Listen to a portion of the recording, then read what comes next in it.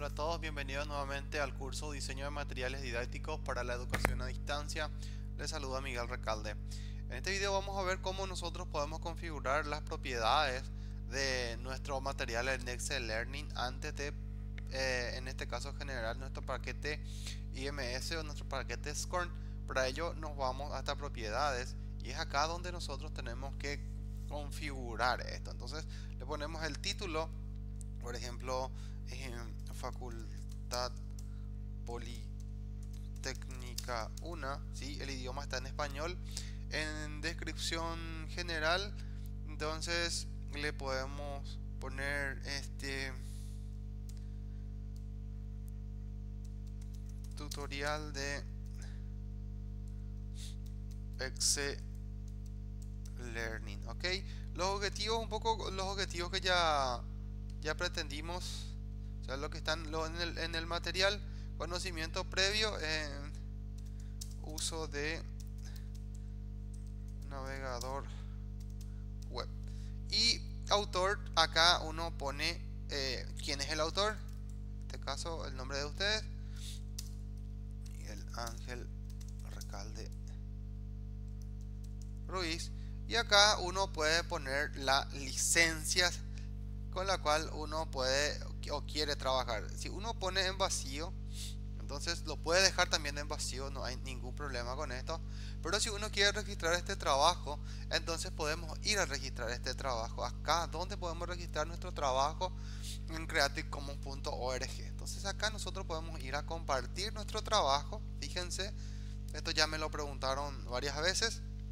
Y acá eh, uno puede registrar su trabajo con simplemente tres pasos. El primero, eh, vamos a, seleccionar en este caso el, tipo de licencia que uno quiere dar.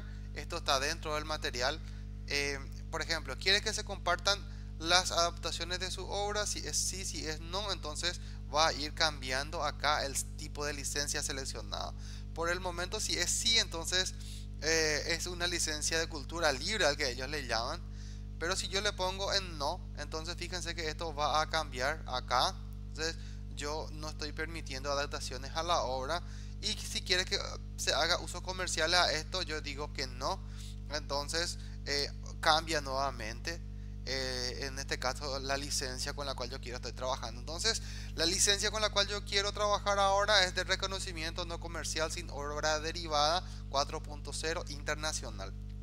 Y acá, en este punto es donde uno tiene que agregar lo que sería su autoría. En este caso, el título de nuestra obra. Acá está Facultad Politécnica 1.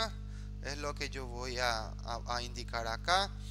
Eh, esta obra, para esta obra reconozca a... Acá va mi nombre, Miguel Ángel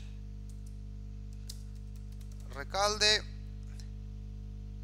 No hay acá simplemente eh, URL fuente de la obra punto educa punto una punto pi barra politécnica.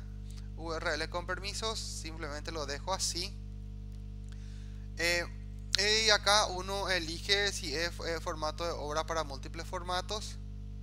Audio video en este caso lo dejo tal cual como está si quiero marcaje de licencia HTML RDA o si va a ser de tipo fuera de línea en este caso eh, si yo tengo una página web porque yo dentro de una página web en este caso lo voy a poner entonces este es el código que tengo que copiar este es el código que yo copio ¿sí?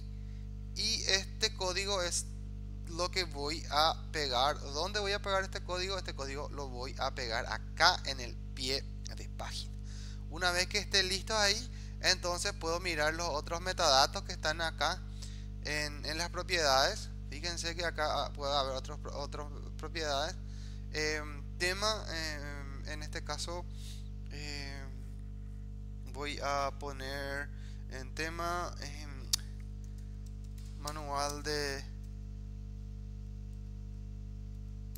Excel Learning el editor en este caso es el que uso es de excellearning.net los colaboradores, eh, por el momento estoy trabajando solo, este es el identificador, el idioma que estoy trabajando y los derechos que cedo son los del, derecho BINCND.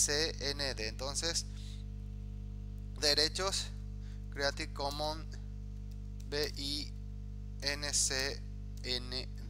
Una vez que tenga esto, le doy en guardar, aceptar y si yo me voy acá, ya puedo ver en este caso la licencia que tiene este material y ya está listo para poder en este caso exportar a SCORN o IMS para después trabajarlo dentro de mi curso en Educa. Bien amigos, esto fue lo que quise compartir con ustedes. Espero que este video les pueda ayudar para crear, en este caso, eh, para completar las propiedades y para poder registrar su trabajo en esta página. Nos vemos en el siguiente video. Hasta luego.